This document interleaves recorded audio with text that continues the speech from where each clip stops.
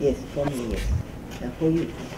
Yuki Iwata works alongside communication strategist Marines to provide the Marine Corps Air Station Iwakuni story to the local and surrounding community through the Kintai magazine. The magazine comes out quarterly and was awarded Publication of the Year for 2017. Yuki Iwata says she finds it important to accurately present the Marine Corps story. I think the most important part of my job is to translate stories into Japanese precisely but also properly so that the Japanese people doesn't misunderstand the Marines and the uh, air station. Mrs. Wada contributes to the air station's mission by compiling, designing, and translating the stories into Japanese so both English and Japanese speakers can enjoy the publication. First Lieutenant Melissa Heisterberg says their shop is excited to highlight the air station and the Iwakuni community.